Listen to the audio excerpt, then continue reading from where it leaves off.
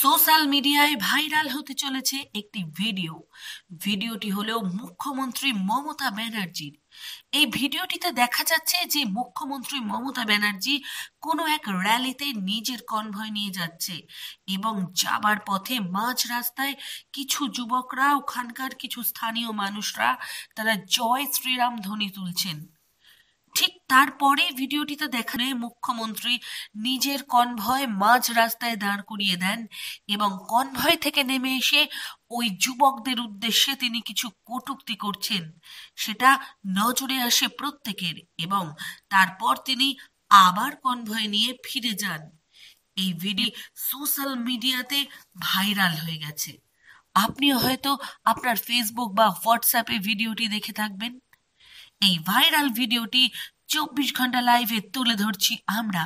দেখুন কি ছিল সেই ভিডিওটি ঠিক আছে।